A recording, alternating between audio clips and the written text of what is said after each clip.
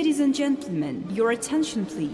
把跑步机当成机场输送带，想出国想疯了，在台湾不用这么累。伪出国景点玻璃仔，全套装备一览海底美景，在蓝雨潜水，就像到日本冲绳。台南奇美博物馆走典雅欧风，喷水池更获得法国凡尔赛宫授权。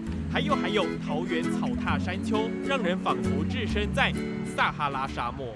意大利啊、日本啊这些国家的呃景点，包含河掌村啊，那这些景点在台湾其实都找得到相对应的景点，询问度上比较疫情期间，现在起码提高三到五成。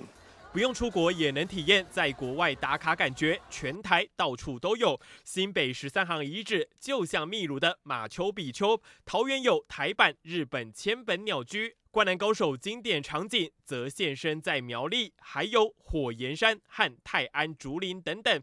另外，台中版天空之镜在嘉义则有德恩雅纳部落，到了台南有小瑞士，最后再到高雄柴山天宇洞。预计去的几个地方就暂时不能去。目前想要离岛了，就是可能去那个蓝屿绿岛这一方面，因为离岛还是有点出国的感觉。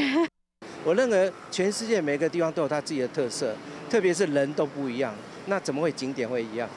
拍出完美照不用花大钱，伪出国过干瘾，在疫情期间不止保护自己，也能再次认识台湾土地之美。环宇新闻陈明燕、宋俊义、张哲豪综合报道。